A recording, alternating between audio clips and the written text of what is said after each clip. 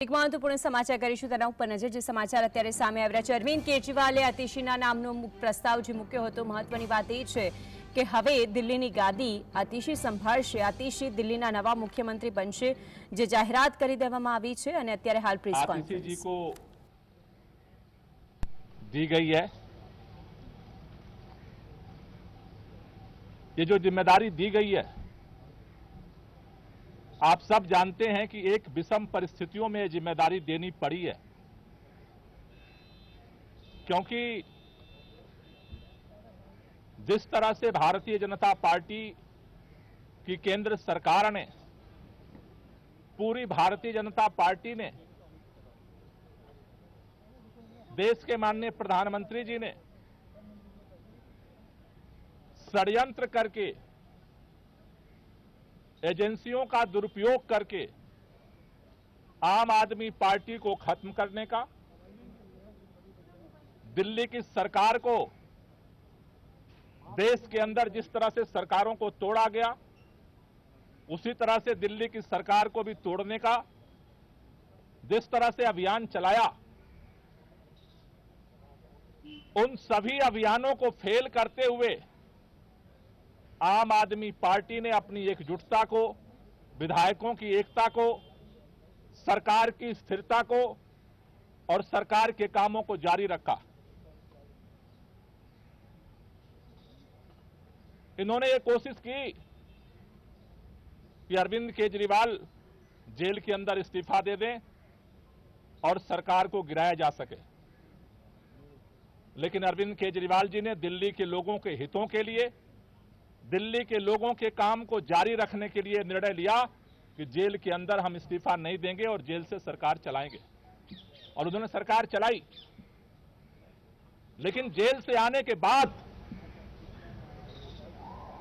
उन्होंने यह निर्णय लिया कि जिस तरह से अरविंद केजरीवाल की जो सबसे बड़ी ताकत है, ईमानदारी की ताकत उसी ईमानदारी की ताकत से अरविंद केजरीवाल जी ने दिल्ली के लोगों के लिए वो काम किया जो आज तक इतिहास में भारत की कोई राज्य सरकार नहीं कर पाई। लेकिन उनके ऊपर, उस ईमानदारी के ऊपर कीचड़ उछाया गया भारतीय जनता पार्टी की तरफ़ से। और उसको देखते हुए दिल्ली के मुख्यमंत्री अरविंद केजरीवाल जी ने जेल से आने के बाद यह निर्णय लिया कि देश की सुप्रीम अदालत ने हमें जेल से बाहर कर दिया है। लेकिन हम जनता की अदालत में जाएँगे। दिल्ली के लोग जब तक दोबारा चुन करके उन्हें अपना समर्थन नहीं देते, तब तक दिल्ली का मुख्यमंत्री नहीं बनेंगे। आज इन परिस्थितियों में जब उन्होंने अपना इस्तीफा देने का निर्णय लिया, आज विधायक दल की बैठक हुई। विधायक दल की बैठक में सर्वसम्मति से निर्णय हुआ है कि अगले चुनाव तक हम चाहते हैं कि ये चुनाव अक्टूबर नवंबर में कराए जाए, जल्द से जल्द कराए जाए। जब तक चुनाव नहीं होता है, अरविंद केजरीवाल जी को प्रचंड बहुमत से जनता दिल्ली का मुख्यमंत्री नहीं बनाती है, तब तक के लिए आतिशी जी को दिल्ली के मुख्यमंत्री के रूप में ज़िम्मेदारी निभाने के लिए प्रस्ताव सर्वसम्मति से पारित हुआ है। आतिशी जी को दो ज़िम्मेदारी मुख्य तौर पर सभी विधायकों की तरफ़ से दी गई। पहला, कि दिल्ली के दो करोड़ लोगों के साथ मिल करके भाजपा के सारे रुकावटों के बावजूद हम काम जारी रखेंगे। और दूसरा, भारतीय जनता पार्टी अरविंद केजरीवाल के नेतृत्व में दिल्ली के लोगों को जितने काम किए गए उन सबको रोकना चाहती है। बिजली, फ्री बिजली रोकना चाहती है, फ्री पानी रोकना चाहती है, स्कूलों को खराब करना चाहती है, मोहल्ला क्लिनिक बंद करना चाहती है, महिलाओं की यात्रा को रोकना चाहती है, बुज़ुर्गों की तीर्थ यात्रा को रोकना चाहती है। अभी हमने देखा बुज़ुर्गों की पेंशन रोक दिया पाँच महीने तक।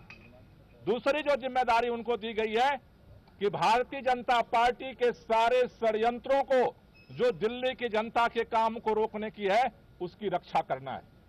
हमें कल भी इस भाजपा के षडयंत्र से हम लड़ रहे थे और इसलिए नए मुख्यमंत्री की ज़िम्मेदारी है संघर्ष को जारी रखना। भाजपा के नेताओं से, भाजपा की सरकार से, भाजपा के षडयंत्रों से दिल्ली के जनता के कामों को सुरक्षित रखना, उसकी रक्षा करना, इन दो जिम्मेदारियों को लेकर के नई सरकार का गठन होगा। साढ़े चार बजे मुख्यमंत्री जी अपना इस्तीफा देने के लिए उपराज्यपाल के पास जाएँगे और उसके बाद नई सरकार बनाने की दावेदारी विधायक मंडल दल की तरफ़ से प्रस्तुत की जाएगी। दोनों काम एक ही साथ होगा क्या? उसी समय दावा पेश होगा नई सरकार बनाने का? पहले मुख्यमंत्री जी अपना इस्तीफा देंगे और उसके बाद जो विधानमंडल दल का जो प्रस्ताव है नेता चुनने का वो दावेदारी का प्रस्ताव रखा है। सवाल ये है कि जब अरविंद जी इस्तीफा जब, अरविंद जी इस्तीफा देने जाएँगे उसी दौरान इस्तीफा देने के साथ ही आतिशी जी का नाम का भी वहीं पर प्रस्ताव दिया जाएगा या फिर अलग से बाद में फिर वो देखिए ये दोनों प्रस्ताव अरविंद केजरीवाल जी पहले अपना इस्तीफा देंगे और इस्तीफा देने के बाद जो नई सरकार गठन की दावेदारी है वो भी प्रस्तुत की जाएगी। बैठक बैठक में कैबिनेट में दो पोस्ट खाली हुई बैठक में क्या मंत्रियों को लेकर आज ही प्रस्तुत किया जाएगा आज ही इस्तीफा भी प्रस्तुत किया जाएगा और नए सरकार गठन के लिए दावेदारी भी प्रस्तुत की जाएगी। जहाँ तक नए मंत्रिमंडल की बात है उसके बाद जो है पार्टी बैठ करके उसके लिए निर्णय लेगी।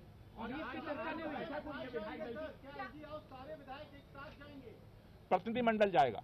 आज जो विधायक दल की बैठक हुई है उसमें जो है जो नई कैबिनेट को लेकर भी कुछ चर्चा हुई है।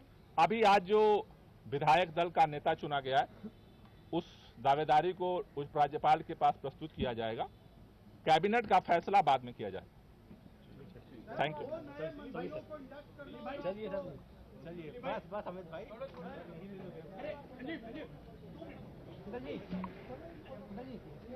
ये दोनों साइड में लगवा देना इस साइड में यहाँ पर आधे घंटे फिर सड़क लगेगा ये इधर लगवा दो एक एक इधर लगवा दो ये साइड में लगवा दो आधे घंटा फिर लगेगा सड़क ये हटाओ આગામી ચૂંટણી સુધી આતાશી દિલ્હીના મુખ્યમંત્રી રહેશે તે વાતનો ઉલ્લેખ કર્યો છે આપના ધારાસભ્ય દળે આતિશીના નામની પસંદગી કરી ગોપાલ રાય જે દિલ્હીના મંત્રી હતા જો કે જે વખતે અ, તેમણે આ વાતનો ઉલ્લેખ કર્યો તેમણે કહ્યું કે આગામી ચૂંટણી સુધી આતિશીને આ જવાબદારી સોંપવામાં આવી છે સાથે સાથે તેમણે એ પણ કહ્યું કે સાડા ચાર વાગે જ્યારે રાજ્યપાલને તેઓ મુખ્યમંત્રી કેજરીવાલ રાજીનામું સોંપશે. આપને ખતમ કરવાનું ષડયંત્ર રચવામાં આવ્યું હતું તે વાતનો પણ ઉલ્લેખ કર્યો, જે સરકારને પાડવાનો પ્રયાસ કરાયો. તેવું પણ ગોપાલ રાય કહ્યું છે. મહત્વની વાત છે કે આ પ્રેસ કોન્ફરન્સની અંદર જે વાત કરવામાં આવી તેમાં કહ્યું કે વિષમ પરિસ્થિતિની અંદર જવાબદારી સોંપવામાં આવી છે કે બધા જાણે છે કે તેમને મુખ્યમંત્રી આખરે કેમ બનાવવામાં આવ્યા અને આ પરિસ્થિતિઓને લઈને હવે જલ્દીથી જલ્દી દિલ્હીની અંદર ચૂંટણીનું આયોજન કરવામાં આવ્યું તેવી પણ ચૂંટણી પંચને તે લોકોએ માંગ કરી છે. આમ આદમી પાર્ટી દ્વારા આપની જે પ્રેસ કોન્ફરન્સ હતી તેમાં ઘણી બધી વાતોનો ઉલ્લેખ ગોપાલ રાય દ્વારા કરવામાં આવ્યો. મહત્વની વાત એ છે કે આજે ધારાસભ્ય દળની બેઠક હતી જ્યારે બધા જ ધારાસભ્યો તે બેઠકની અંદર હાજર હતા. મુખ્યમંત્રી કેજરીવાલ છે કે જે કયા નવા મુખ્યમંત્રી હશે તેને લઈને જ્યારે ચર્ચાએ જોર પકડ્યું હતું, બેઠકની અંદર જ આખરે જ્યારે નામ જાહેર કરવામાં આવે છે અરવિંદ કેજરીવાલ દ્વારા અતિશીનું તો કોઈએ પણ તેનો વિરોધ ન કર્યો અને આખરે તેમણે તેમના નામ પર મોહર મારી દીધી. હવે એ આતિશી કે જે દિલ્હીની કમાન સંભાળશે તો તે છે દિલ્હી યુનિવર્સિટી સ્નાતક ઓક્સફર્ડ યુનિવર્સિટીથી તેઓ અનુસ્નાતક થયા છે. તેમનું શિક્ષણની અંદર ખૂબ જ સારું એવું જ્ઞાન છે. દિલ્હી સરકારમાં સૌથી વધુ વિભાગ અતિશી પાસે છે અને આપે જોયું હશે કે જે સમય છ મહિના સૌથી વધારે આપ માટે ખરાબ હતા ત્યારે આતિશી બહુ સારી રીતે ઉભરીને બહાર આવે મનીષ સિસોદિયાના સલાહકાર તરીકે મહત્વની ભૂમિકા તેમણે ભજવી છે. કેજરીવાલ સરકારમાં ડેમેજ કંટ્રોલ કરવા માટેની સૌથી મોટી ભૂમિકા તેમણે નિભાવી છે. અને એ જ આતિશી કે જે દિલ્હીની નવી કમાન સંભાળશે. દિલ્હી યુનિવર્સિટીથી તેઓ સ્નાતક છે.